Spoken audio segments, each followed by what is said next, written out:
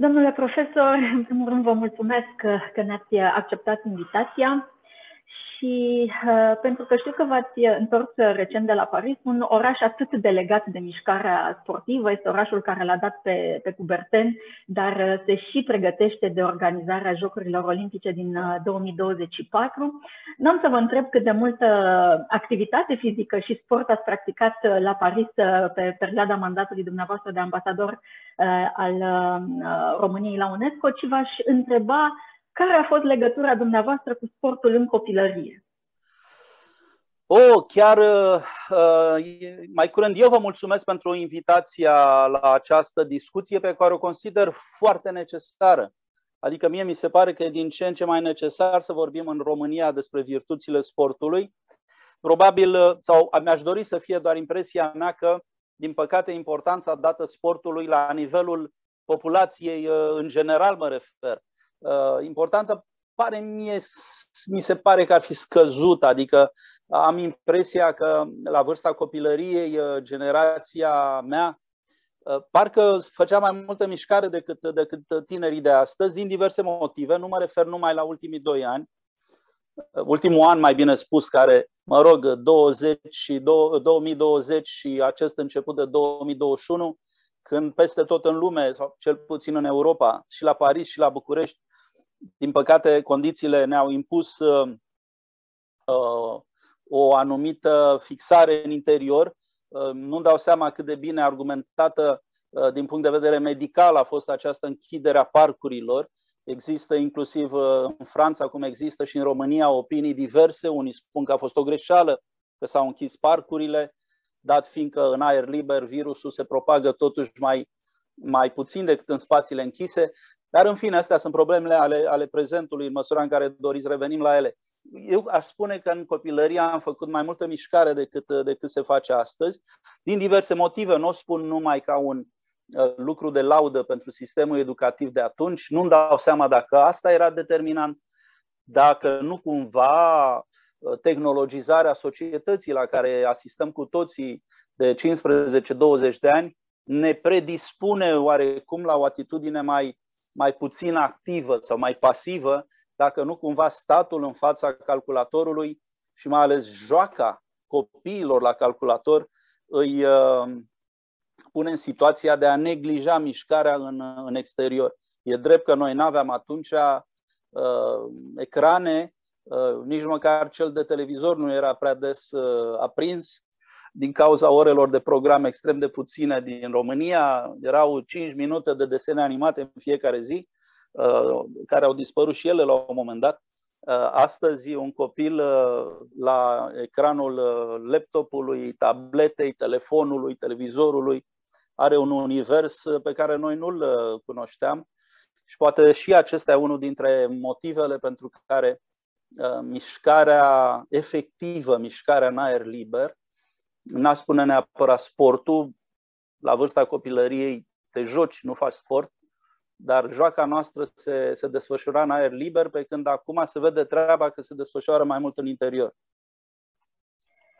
Da, așa este și de un an de zile stăm mai mult în interior. Cumva viața noastră a ajuns la un alt nivel, a trebuit să ne readaptăm toate activitățile noastre fizice și nu numai, toate activitățile noastre zilnice au trebuit să capete un nou program.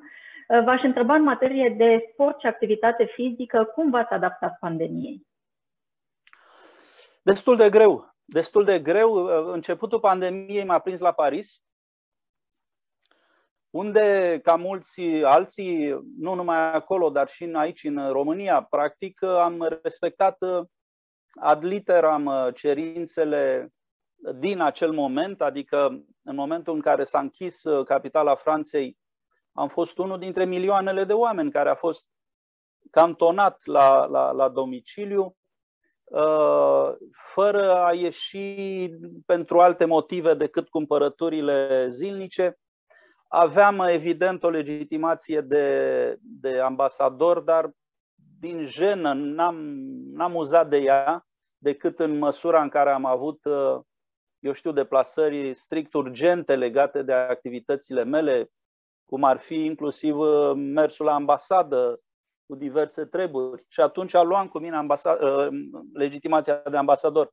Altfel, ieșeam uh, odată la câteva zile cu un cărucior de cumpărături. Nu m-am adaptat foarte bine, pentru că e un sentiment absolut frustrant să stai într-un oraș pe care îl iubești, în al cărui puls uh, trăisem vreme de câțiva ani până atunci și dintr-o dată să nu mai poți ieși. Uh, e ca și cum uh, uh, ai fi într-un muzeu și cineva îți lipește uh, tălpile picioarelor astfel încât nu poți face niciun pas. Uh, repet, uh, Parisul văzut de pe geam uh, nu are nimic din farmecul uh, orașului pe care îl știm, la fel cum Bucureștiul văzut de pe geam nu e neapărat uh, o încântare. Orașele sunt făcute să, să fie bătute la picior. Ăsta e contactul pe care îl, îl ai cu o, cu o comunitate, mai ales uh, atunci când, uh, mă rog, nu ești născut acolo și o descoperi, o redescoperi de la un anotimp la altul. Fiecare anotimp aduce ceva, ceva special. Plus că eu sunt un om care merge destul de mult și am făcut-o și la Paris, adică asta a fost, să spunem, probabil principala mea formă de mișcare. Ori în condițiile pandemiei vă dați seama că lucrurile s-au restrâns categoric și n-am mai, n-am mai putut merge cele, eu știu, șapte o mii de pași pe care îi aveam programați în fiecare zi.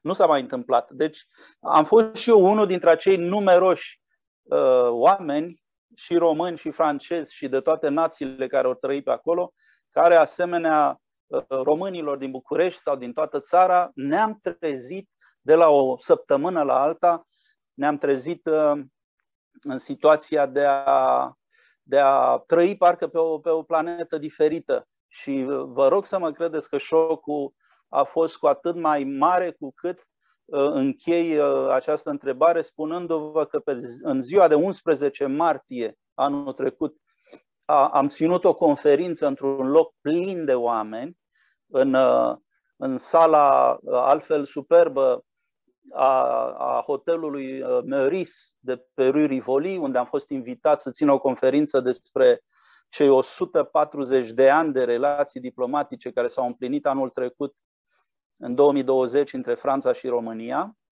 Repet, 11 martie, în sală erau uh, peste 100 de oameni, oameni, câte 10 oameni la masă, uh, o atmosferă, să zicem, uh, normală și la câteva zile orașul s-a închis și nici măcar trei oameni nu mai puteau sta la o masă lungă din cauza că ni se spunea că acest virus este într-atât de, de, de periculos încât orice formă de coagulare uh, a mai multor persoane poate să fie o sursă de insecuritate. Deci la interval de câteva zile, practic, viața noastră s-a schimbat și bănuiesc că toți am trecut prin asta. Deci nu mi-aduc aminte cu, cu plăcere, din păcate, de acest uh, ultim an uh, la Paris, pentru că a fost un fel de Paris văzut pe geam. Da, pandemia a schimbat uh, cursul vieții noastre. Nu, nu știm cât de curând vom uh, reuși să avem din nou uh, activități culturale, sociale sau chiar sportive cu un număr mare de, de oameni. Și tocmai de-aia v-aș întreba, pentru că am menționat și evenimentele sportive, dacă aveți vreun eveniment sportiv major, un eveniment care să-și fi lăsat amprenta, să vă fi influențat de-a lungul vieții. O, da, cum să spun, uh, uh, mai multe ar zice, ca și care sunt legate într-un fel uh, între ele. În primul rând, jocurile de fotbal, ca orice copil. În, eu fac parte din acea generație a decrețeilor, cum se cheamă, chiar dacă, mă rog, să zicem, nu sunt cazul cel mai uh, exponențial, fiind născut în ianuarie 1967, Decretul e de la 1 octombrie 1966, decretul vestitul, vestitul, decret al lui Nicolae Ceaușescu, dar în același timp mă simt uh, uh, complice și solidar cu ceilalți decreței, uh, care decreței uh, în mod obligatoriu aveam uh, orele de sport de la școală, dar făceam sport și pe lângă orele de sport de la școală și mai ales jucam fotbal. Băieții jucau fotbal, uh, atunci mai ales băieții, Uh, și pentru orice copil din acele generații, jocurile de fotbal erau un fel de matrice a dezvoltării individuale în copilărie. Jucam și pe terenul de, de sport al școlii și pe stradă, locuind într-un cartier de case din Craiova, părinții mei locuind acolo, jucam, ne jucam pe stradă fotbal, de asemenea. Apoi, la sfârșitul școlii generale, am început volei. Am jucat volei la clubul Universitatea Craiova la tineret, bineînțeles, la începători. Uh, câțiva ani de zile am făcut cu o admirabilă doamnă profesoară țară lungă, așa o chema, care de altfel cred că era soția unui fotbalist al Craiovei țară lungă. Uh, și ulterior în liceu, la fel, uh, în facultate, de asemenea, am jucat mai ales basket. Fiind mai înalt, am jucat basket, am trecut de la volei către basket în liceu și în în facultate. Deci, asta pe latura personală, așa cum să spun, ca evenimente, sunt unul dintre cei care au trăit acea vară anului 1984, când România a participat la Jocurile Olimpice de la uh, Los Angeles și probabil a fost cea mai bună performanță sportivă din istoria uh, României. Nu probabil, cu siguranță, dar mă întreb dacă nu cumva va și rămâne ca un, ca o, ca un ca un unicat. Am fost pe locul 2 la națiuni în clasamentul olimpic în acel an, în condițiile drept în care o bună parte din uh, țările din influența Uniunii Sovietice nu s-au prezentat în frunte cu Uniunea Sovietică, ea însă și un, uh, o putere sportivă în acel moment. România a participat, sigur că au fost considerente în primul rând politice, dar e bine că a participat România, în opinia mea, și rezultatele sportive au fost cu totul și cu totul, eu știu, uh, uh, admirabile și notabile. El, uh, acea participare, Jocurile Olimpice de la Los Angeles vor rămâne o, o pagină efectiv istorică în, în marea carte, carte a, a sportului românesc. În fine, meciuri ale, ale echipei naționale de fotbal Um, și mai ales meciuri ale uh, Universității Craiova, echipa de fotbal Universitatea Craiova, acea uh, primăvară splendidă, acel traseu în Cupa UEFA, nu din toamna lui 82 până în primăvara lui 83. Uh, eu sunt unul dintre copiii care au trăit emoțiile acelei Craiova maxima până la meciul nefericit împotriva Uh, portughezilor de la Benfica, Lisabona, care ne-au uh, uh, blocat și am suferit cu toții și am cântat și am sperat până în ultima secundă și, mă rog, s-a întâmplat cum s-a întâmplat, dar iubirea noastră pentru fotbal și pentru, iubi- pentru Universitatea Craiova a rămas ai doma. Deci, repet, am, am repere suficiente, repere sportive despre care aș putea vorbi. E drept, în același timp, că formația mea de istoric mă, mă face dator să spun că noi eram atât de legați de evenimentele sportive, pentru că alte evenimente, la drept vorbind, nu prea aveam sau ele erau mult mai rare, mult mai puține decât, decât cele de astăzi. Sportul era un factor de coeziune la nivelul societății pentru că era un fel de viață paralelă viața în societate era tot mai gri, tot mai politizată, cu toții trebuia să avem un, un discurs de ăsta care să înceapă cu o idee din Ceaușescu, să se termine cu o idee din Ceaușescu. Eu uh, am început și un liceu de filologie istorie la Craiova uh, în anii 80 și asta m-a predispus într-un fel de a avea uh, toate aceste discipline, istoria, filozofia, erau contaminate destul de mult de discursul uh, politic. Ori pentru noi sportul era o formă de evadare. În sport nu trebuia să citezi din Nicolae Ceaușescu. Când juca Balaci sau când juca uh, uh, Rodion Cămătaru sau când vedeam echipa națională a României uh, cu Beoloni, cu Balaci, cu Ștefănescu, cu toți ceilalți, ei nu trebuiau să citeze din Nicolae Ceaușescu și de asta vă spuneam că era un fel de de lume paralelă aceasta a victoriilor sportive. Uh, olimp, olimpioții noștri, olimpicii noștri, jucătorii de la Olimpiada din, de la Los Angeles, nu trebuiau să citeze din uh, Nicolae Ceaușescu, dar asta uh, nu împiedica să ia medalii de aur, să ia medalii de, de, de mare valoare pentru sportul românesc și asta ne apropia de sport și din acest motiv sunt unul dintre acei români care ar putea da exemplu de N și N competiții sportive din acel moment, de la fotbal la handbal, de la mare echipă de volei pe care o aveam în, în acele momente, eu știu, sportiv de la haltere până la gimnastică. Aveam, uh, România avea o prezență sportivă considerabilă în acel moment, de la sporturi de echipă până la sporturi individuale. Ați menționat de mai multe ori Craiova, orașul copilăriei, așa că m-aș lega de acest oraș și de acest nucleu al vieții unei comunități și v-aș întreba care este liantul între sport și dezvoltarea unei comunități.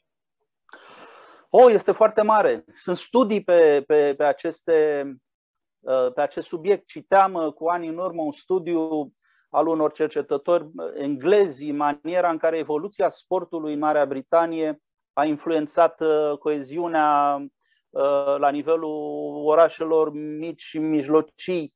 Înainte, echipa de fotbal a unui oraș erau băieți din acei oraș, băieți care locuiau cu tine în cartier și asta am trăit-o eu însumi, la nivelul generației mele, cum vă spuneam, în acea suită de victorii ale echipei Universitatea Craiova din primăvara anului 83, după meciuri victorioase, noi mergeam sub balconul lui Costică Ștefănescu sau unde locuia Ilie Balaci. Știam cu toții unde locuiau, locuiau niște blocuri.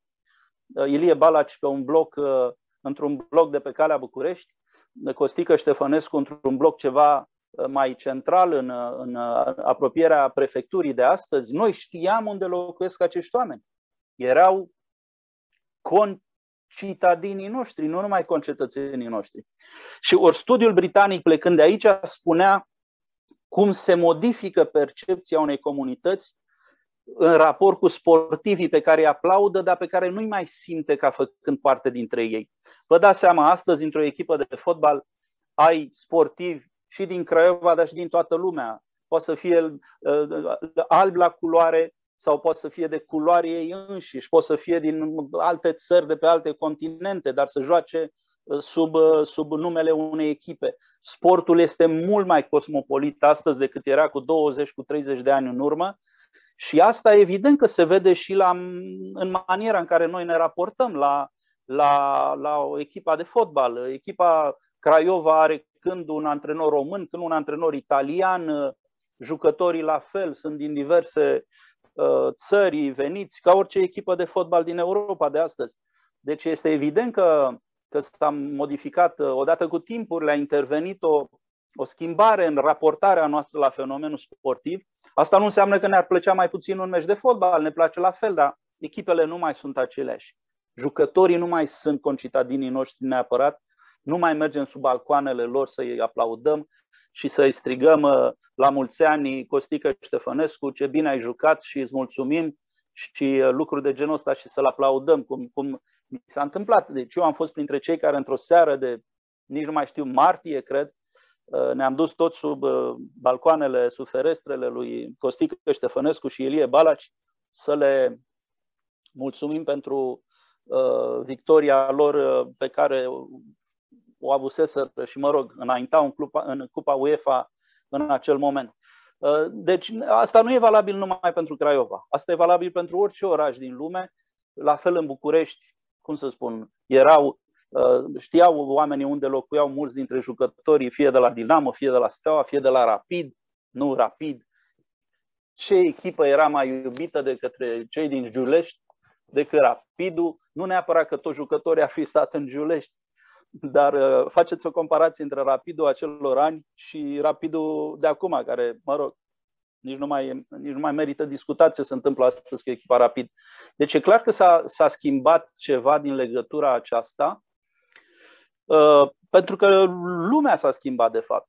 Lumea noastră e mult mai deschisă decât cea de atunci. Am ieșit din cartierele noastre, și cele mentale, dar și cele geografice. Și din acest punct de vedere, sigur că sunt și aspecte pozitive, poate sunt și aspecte uh, negative, dar lumea e alta față de, de cea de acum 30 de ani. Pentru că ați menționat uh, foarte frumos că am ieșit din, uh, din cartierele noastre, nu doar fizice, ci și uh, mentale. Uh, aș aduce cumva discuția la, din nou la, la timpul prezent și uh, v-aș întreba, suntem într-o uh, perioadă de pandemie, sunteți istoric și sunt convinsă că vă uitați atent la tot ceea ce se întâmplă pe uh, plan global și identificați toate stările astea de tensiune și toate frustrările ce apar în rândul comunităților din lumea largă, nu doar de la noi din țară. Credeți că prin sport și valorile pe care acesta le promovează putem vorbi de o legătură strânsă între sport și pace? O, da! O, da! Unul dintre capitolele uh, activității mele la UNESCO a avut legătură și cu promovarea sportului ca instrument al păcii. De fapt, sportul, să ne înțelegem, sportul este un, un fenomen cultural Poate că unii uh, vor crede că glumesc, cum adică sportul e cultură. Efectiv, sportul este un element cultural. Adică joaca este intrinsecă omului, dar și puii de leu se joacă, și uh, puii de lup sau de uh, câine sau de pisică se joacă. Omul este singurul animal, animalul social care face sport. Și, cum să spun, Uh, victoria la, la capăt poate să fie o medalie, poate să fie o cunună de, de uh, dafin, de laur, poate să fie o sumă de bani, dar mai ales ce interesează pe sportive e medalia. Uh, în Franța a existat, pe de o parte, frustrarea, cum vă spuneam, de a vedea un oraș închis, de a vedea UNESCO la care lucram, a fost practic paralizat. Și toate ședințele noastre care înainte presupuneau tot ce presupune diplomația, inclusiv contactul direct sau discuțiile în, în privat, discuții discrete uh, de multe ori. Or, uh, până la urmă, în, în, ultimii, în ultimul an, din, din uh, martie 2020 până în decembrie, cât am mai stat la, la UNESCO, așa aveau loc ședințele noastre. Mă rog, încă am dubii că se poate face diplomație în acest mod, dar sigur, în, în lipsă de alt contact, Până la urmă e bun și acesta. În, același, în aceeași perioadă, în paralel cu această frustrare de a vedea uh, UNESCO paralizată, inclusiv vechile noastre discuții, dintre care multe dintre ele acolo aveau legătură cu sportul, pentru că, printre altele, la, la UNESCO au loc și întâlnirile acelui Comitet Mondial împotriva dopajului uh, în sport. Uh, o organizare, repet, la nivel mondial, în care România e membră au fost în ultimii ani anumite probleme și înainte de pandemie mă refer, adică au apărut anumite uh, discuții care nu toate erau în măsură să ne bucure referitoare la acest comitet antidoping, uh, activitatea lui, mai bine spus, activitatea comitetului din, din România, mă rog, uh, din câte am înțeles, s-au soluționat uh, cea mai mare parte dintre, dintre acestea. Uh, dar în, în paralel vreau să spun că am cunoscut în Franța sportivi de origine română, dintre care mulți cu o carieră admirabilă acolo, de la uh, fosta sportivă, care acum toată lumea știe că este uh, ministra sportului în Franța, nu e de origine română, doamna Mărăcineanu, până la un fost campion uh, mondial de canotaj pe care l-am cunoscut. El însuși locuiește în Franța, lucrează în Franța Vasile Tomoioagă, un om admirabil, un maramureșan care nu-și dezminte originea, este în egală măsură un bun parizian, dar este și un maramureșan în același timp și nu se dezminte niciodată. Și astfel de oameni care reprezentau, au reprezentat la un moment dat glorii sportive ale țărilor, uh, acum sunt niște români europeni sau româno-francezi europeni și din fericire să zic că parcă am mai avut mai mult timp în condițiile pandemiei să mă întâlnesc cu unii dintre ei, mai ales cu Vasile Tomoiagă, de care vă spuneam, uh, tocmai închiși fiind într-un fel și mișcându-ne destul de puțin, uh, până la urmă, uh, în momentele în care era să te întâlnești cu, cu un prieten, am avut onoarea de a, de a cunoaște astfel de, de oameni, de la oameni de cultură din diverse generații, de la, eu știu, generația lui George Banu sau Vladimir Cosma sau până apoi la generația intermediară, marele dramaturg care este Matei Vișniec, sau tineri artiști, de la artiști plastici la muzicieni și aș putea da foarte multe nume. Printre ei s-au aflat și sportivi și pentru mine a fost un privilegiu și o onoare de a cunoaște acești sportivi români care au rămas în Franța sau au ajuns, au ajuns în Franța în diverse momente ale, ale vieții lor. Și vedeți dumneavoastră această uh, încordare pe care noi am resimțit-o, noi să zic, ca oameni obișnuiți. Uh, eu sunt convins că au, au simțit-o și, și foștii sportivi sau mai ales sportivii de performanță.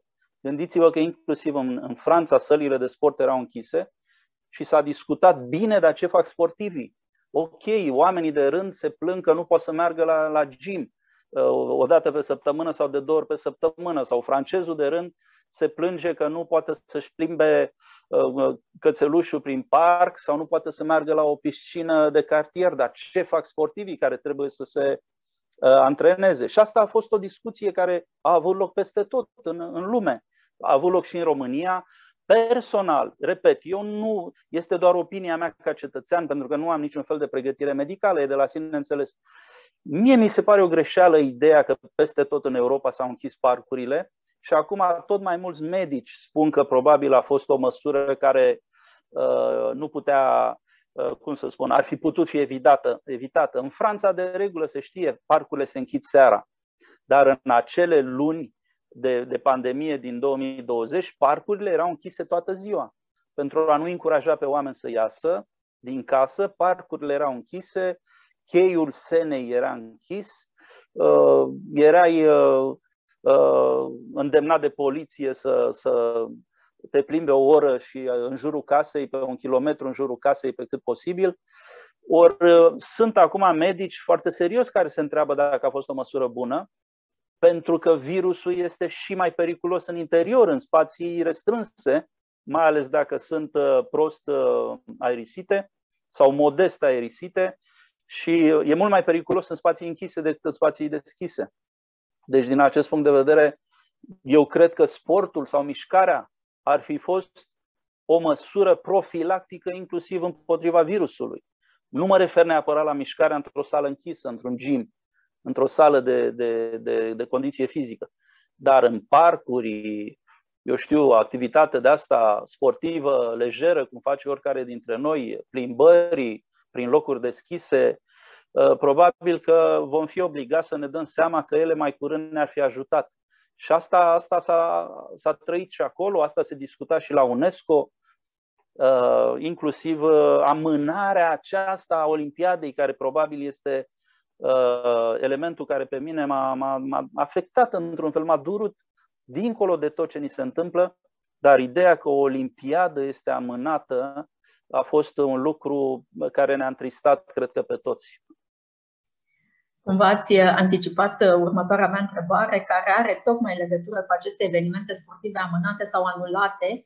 Care eveniment sportiv v-a lipsit uh, cel mai mult în 2020? Păi acesta, uite că v-am anticipat oarecum întrebarea. Evident că Olimpiada, adică noi știm, dumneavoastră la rândul vă știți, cei care avem o pregătire, să zicem, istorică, știm ce a însemnat ideea de olimpiadă în istoria Greciei antice, se întrerupeau războaiele pentru a avea loc o olimpiadă, nu? Bun, în societatea de astăzi știm că s-au întrerupt olimpiadele pe, pe parcursul celui de-al doilea război mondial, dar în timp de pace, în timp de pace, este pentru prima dată în, în istoria mișcării olimpice când o olimpiadă a fost amânată, cea din 2020, uh, în condițiile pe care le știm în condiții ce țin de această insecuritate medicală și e un lucru în măsură să ne întristeze pe noi toți, pentru că noi legăm ideea de mișcare, o legăm de sănătate, ideea de sport o legăm de pace, ori când vezi uh, mișcarea îngrădită, e limpede că uh, nu e ceva bun pentru sănătatea noastră, iar când vezi mișcarea sportivă uh, închisă în casă, uh, închisă la domiciliu, să spun așa, Uh, mă tem să nu afecteze bunele relații dintre state în lumea de astăzi. Terenul de sport e un teren al păcii de fiecare dată. Și uh, inclusiv în timpul războiului rece, inclusiv în momente încordate ale, ale istoriei. Uh, inclusiv că s-au mai boicotat unii cu alții pe la diverse olimpiade. Americanii n-au venit la Olimpiada din 1980, sovieticii n-au venit la Olimpiada Americană din 84. Bun, erau uh, mesaje politice care se dădeau, dar ideea de Olimpiadă uh, a dăinuit totuși, chiar și în acele, uh, în acele să zicem, perioade Aduceți-vă aminte de Olimpiada lui Hitler, probele câștigate de un sportiv de culoare. Aceste, aceste momente fac parte din, din gloria eternă a sportului. Într-o Germanie din ce în ce mai rasistă, să vină un sportiv de culoare american și să câștige probe olimpice. Deci asta era o palmă dată ideologiei naziste și a rămas în istorie ca atare. După cum în timpul războiului rece, uh, uh, ceea ce se cheamă meciurile de ping-pong, nu? Dintre uh, americani și chinezi, când s-au reluat în anii lui Nixon, Henry Kissinger a făcut acea deschidere spre China, tatonările au început cu o delegație de sportivi americani care au jucat ping-pong, tenis de masă cu, cu sportivi chinezi sau meciurile de hockey celebre dintre echipe sovietice și echipe americane. Cu tot războiul rece, acei băieți se întreceau pe teren și dădeau ce era mai bun din ei pentru a aduce victoria de partea țărilor. E, acum am ajuns în anul 2020 ca să avem sportivi, toată, cum să spun, toată lumea are gloriile ei sportive, are speranțele ei olimpice, să avem sportivi, dar să nu mai existe olimpiadă. Din ce cauză? Din cauza acestui uh, blestemat de, de virus care ne-a închis în casă, ne-a închis manifestările sportive și noi vorbim de olimpiadă, dar gândiți-vă că sunt multe, multe, multe alte competiții sportive care s-au, s-au întrerupt, n-au mai avut loc, s-au amânat. Simpla vedere a unor stadioane astăzi, chiar și la jocurile de fotbal care au loc peste tot în Europa, peste tot în lume. Simpla vedere a unor tribune goale, nu? Parcă îți dă așa un sentiment dezolant. Vezi echipe minunate de, de, de băieți care sau fete care, mă rog, joacă pe teren sau în sală și vezi tribunele goale, e ceva în neregulă, vizual te, te ofensează o astfel de imagine, pentru că noi suntem obișnuiți să vedem tribunele pline la aceste evenimente sportive. Sportul fiind, cum spuneam, un act de cultură, un act de cultură fizică care atrage oamenii. Oamenii vin să se bucure, oamenii vin să aplaude, oamenii vin să țină cu o echipă sau cu alta. Ori tribunele goale uh, și transmisia prin televiziune a unor meciuri superbe, dar fără o prezență a spectatorului în tribună, încă nu suntem obișnuiți cu așa ceva și eu cred că nu ne, nu ne vom obișnui prea curând. E ceva ce nu, ce nu cadrează și mă rog, la ora la care discutăm, să spunem că suntem chiar în prima zi din aprilie 2021, încă nu e limpede de ce se va întâmpla cu Olimpiada de anul trecut, care teoretic ar trebui să aibă loc uh, în acest an. Cum va avea loc? În ce condiții va avea loc? Uh, și sunt alte și alte evenimente care ar putea fi discutate, inclusiv acel campionat, campionat european de fotbal în care România avea și rolul ei și nu prea, mai, nu prea e clar în momentul de față cum anume și unde se va juca. Uh, așa este. Sperăm totuși ca uh, Jocurile Olimpice de la Tokyo să fie organizate în vara aceasta cu niște condiții specifice perioadei pe care o trăim. Același lucru sperăm să se întâmple și cu campionatul european de fotbal și pentru că ați uh, menționat foarte multe momente istorice din ultimul secol legate de competiții sportive majore. Putem identifica în egală măsură și niște valori pe care sportul le promovează. Vorbim de respect, vorbim de fair play, vorbim de prietenie, fie că vorbim de uh, competiții din timpul războiului rece, fie că vorbim de uh, perioada actuală. Așa că v-aș întreba dacă aceste valori respect, fair play uh, sau prietenie s-au regăsit într-un moment în cariera dumneavoastră. Fără îndoială, fără îndoială.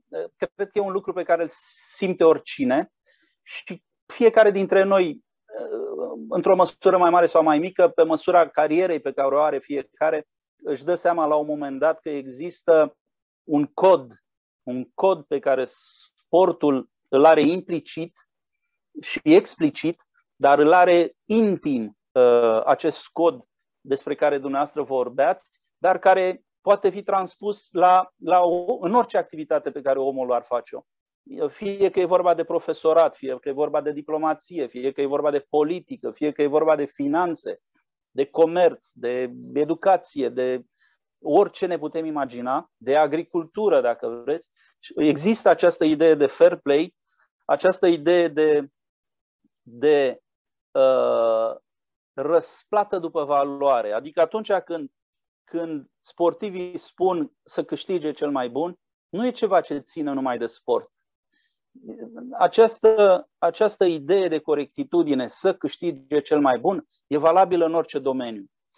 Ori gândiți-vă la mesajul intrinsec pe care o astfel de idee sportivă îl transmite. Când spui să câștige cel mai bun, se presupune că noi doi suntem cu totul similari, uh, așa cum doi sportivi, indiferent de culoarea pielii lor, indiferent de religia lor, indiferent de etnia lor, indiferent de țara din care vin, ei totuși ca oameni, noi suntem aceiași. Că vine unul dintr-o țară arabă sau că altul vine dintr-o, din India sau vine din Israel sau vine din America Latină sau din Europa. Când spui să câștige cel mai bun, plecând de la ideea că noi toți suntem oameni, având, suntem, fiind oameni, avem atât, aceleași capacități, să spunem, și depinde de valoarea unuia sau alteia. Deja noi am pierdut competiția cu mașinile. Știți că de ani de zile uh, la jocul numit Go uh, a câștigat un computer, la șah a câștigat un computer, deci la aceste jocuri ale minții nouă ne-a rămas să intrăm în competiție noi între noi oamenii. Pentru că deja la jocurile minții mașinile ne bat. Poate că în 30 de ani, 25-30 de ani, această îmbinare dintre biologie și tehnologie va face ca într-o zi să existe o, o creatură de-a noastră biotehnologică în măsură să ne învingă și pe terenul de, de sport. Poate că va apărea o astfel de creatură care să aleargă mai, mai repede decât orice alergător de viteză uman. Cu atât mai mult rămâne ideea că noi, sportul ne învață că trebuie să intrăm în competiție unul cu altul după aceleași reguli, într-o, într-o, într-o, uh, în respectul acelorași, acelorași uh, reguli, astfel încât să câștige cel mai bun. Și asta, până la urmă, e o, e o dovadă că ceea ce numim noi comportament sportiv se aplică de fapt peste tot. Repet, indiferent ce ai face, trebuie să ai un comportament sportiv cu ceea ce înseamnă acest comportament sportiv de la respectul uh, regulilor, uh, respectul uh, arbitrajului, datoria arbitrajului de a fi imparțial, fair play, nu ceea ce numim fair play de o parte și de alta, și recunoașterea celui mai bun. În momentul în care ești pe locul 2, îi strângi mâna celui de pe, de pe locul întâi. Așa cum locul întâi strânge mâna celor de pe podium alături de el. Pentru că, de fapt, toți sunt învingători într-o competiție sportivă, cum sună și celebrul moto olimpic. Uh, important e să participi, de fapt, și asta e o mare lecție a sportului, repet, care se aplică la orice alt domeniu. Important e să participi, important să dai tot ce e mai bun din tine uh, și câștigul este de-abia pe locul 2. Uh, uh, mult mai importantă e participarea. Da, mulțumim frumos pentru lecția aceasta de uh, și lecție istorică și lecție de uh, spirit sportiv în viața, în viața reală, aș putea să spun. În încheiere, v-aș întreba dacă aveți un mesaj pentru tânăra generație. Știu că lucrați uh, cu studenți uh, și noi la Academia Olimpică Română avem tot felul de proiecte, mai ales uh, cu elevi de uh, școală gimnazială și liceu. Uh, așa că v-am ruga să transmiteți un mesaj pentru uh, aceștia cu ocazia Zilei Internaționale a Sportului pentru Dezvoltare și Pace. Mesajul e foarte simplu foarte simplu și foarte direct. În primul rând, să, să facă sport și să respecte sportul. Uh, tot ce am încercat să spun pleacă de la ideea că sportul ne învață lucruri despre viață. Sportul e o lecție. De altfel, Albert Camus uh, spunea, un personaj al lui Albert Camus, scriitorul francez, uh, spune la un moment dat că dintr-un meci de fotbal uh, înveți lucruri care țin de filozofia vieții. Uh, și asta e valabil pentru orice sport. De ce o privim cu admirație pe, pe Simona Halep? Uh, de ce o privim cu admirație, nu știu, pe uh, uh, Nadia Comăneci, pe Gheorghe Hagi? Uh, nu o să jucăm niciodată tenis precum Simona Halep. Nu o să dăm cu piciorul în minge cum dădea Gheorghe Hagi. Dar ei sunt niște exemple de reușită.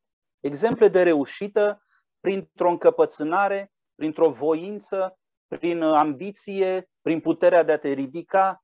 Sportul mai înseamnă și înfrângere, cum spuneam. Nu, nu mereu câștigăm. Dar oare e valabil numai în sport că trebuie să ne ridicăm din, uh, în urma unor, uh, unor, uh, unor eșecuri?